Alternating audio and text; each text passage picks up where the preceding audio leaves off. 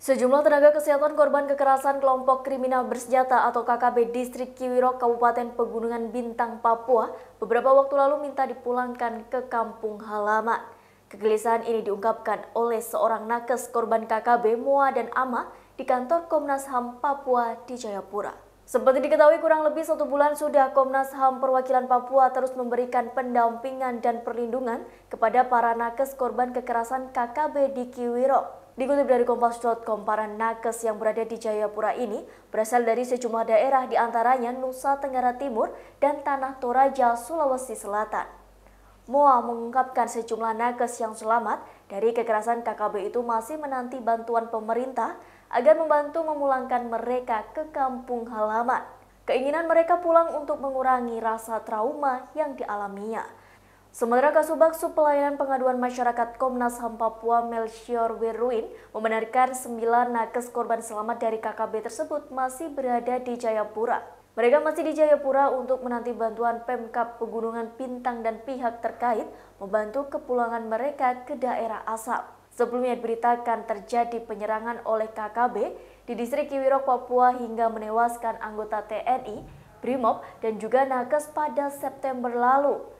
KKB juga sempat membakar sejumlah fasilitas umum yang ada di distrik Kiwiro, mulai dari sekolah, bank, hingga puskesmas.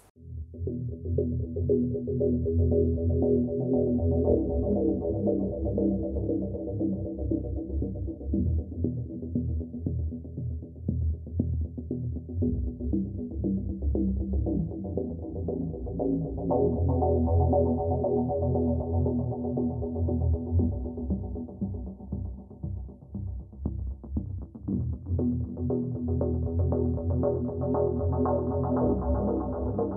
you.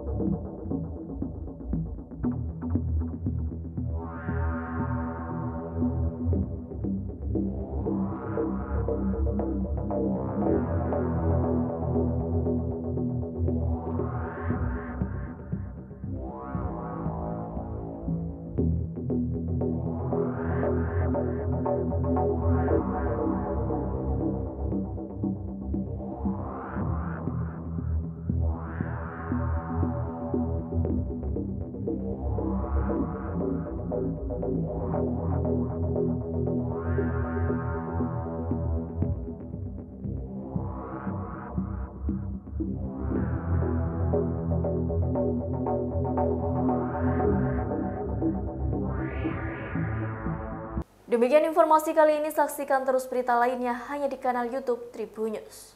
Terima kasih sudah nonton. Jangan lupa like, subscribe, dan share ya.